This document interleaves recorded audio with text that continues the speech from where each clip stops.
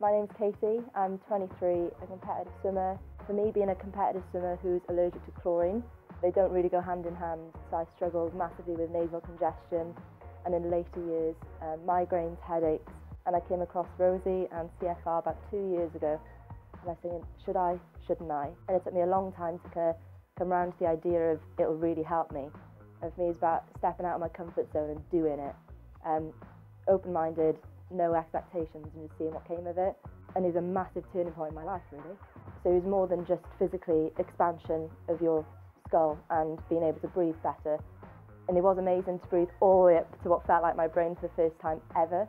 But it was so much more than that. So for anyone sitting on the fence like I was two years ago, jump two feet in and just do it.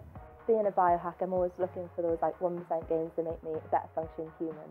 Um, and after lo- reading loads of research articles, looking online, seeing other people have it and witnessing their improvements and enhancements of their, of their body and mind and soul and energy levels.